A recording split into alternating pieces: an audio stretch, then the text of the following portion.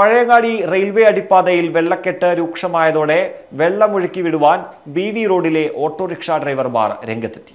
സമീപത്തെ ഓവുചാലയിൽ കെട്ടിക്കിടന്ന മണലും ചെളിയും നീക്കം ചെയ്താണ് വെള്ളം ഒഴുക്കിവിട്ടത്. ജെ സി ബി ഉപയോഗിച്ചും ഓട്ടോറിക്ഷ ഡ്രൈവർമാർ നേരിട്ടുമാണ് മണലും ചെളിയും നീക്കം ചെയ്തത്.